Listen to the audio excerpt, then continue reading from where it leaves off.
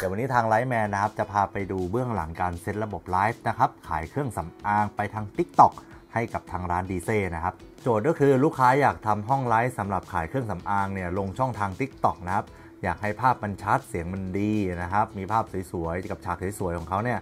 ซึ่งลูกค้ามีฉากแล้วก็สินค้าพร้อมขายมีไฟสตูอยู่บ้างแล้วนะครับทางทีมไลฟ์แมนเข้าไปเนี่ยคือดูหน้างานแล้วก็เซตระบบไลฟ์ไปเติมอุปกรณ์ที่ขาด อุปกรณ์ที่จำเป็นให้ครบตาม requirement ของลูกค้า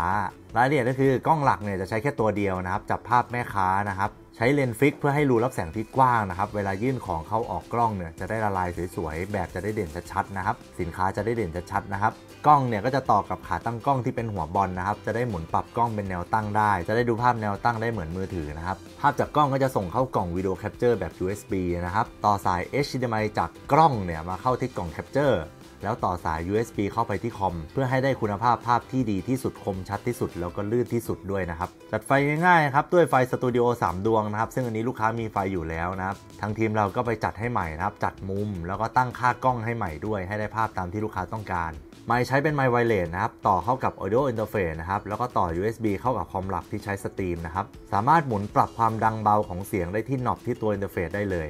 ทั้งหมดนี้นะครับทางทีมงานไลฟ์แมนเนี่ยจะเป็นเหมือน consult นะครับแนะนำอุปกรณ์จัดซื้อจัดหาเข้าไปเซตแล้วก็สอนใช้ทั้งอุปกรณ์ทั้งซอฟต์แวร์ทั้งหมดพอเซตอะไรกันเสร็จเรียบร้อยก็จะมี support หลังจากที่เซตกันเสร็จแล้วด้วยนะครับและทีนี้นี่คือตัวอย่างภาพที่ได้ ลูกค้าจ่ายแค่ร้อยเก้าเก้านะคะ เบอร์หนึ่งผิวขาวขาวอมชมพู เบอร์สองขาวเหลือง เบอร์สามผิวสองสี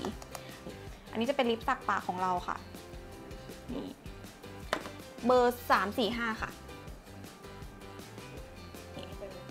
อันนี้อันนี้นะคะจะเป็นแป้งเนียนลูกค้าถ้าเกิดใครสนใจนะครับให้ไปช่วยเซตระบบไลฟ์นะครับติดต่อมาได้เลยที่เบอร์ผมเองนะครับ 0867296541 ครับ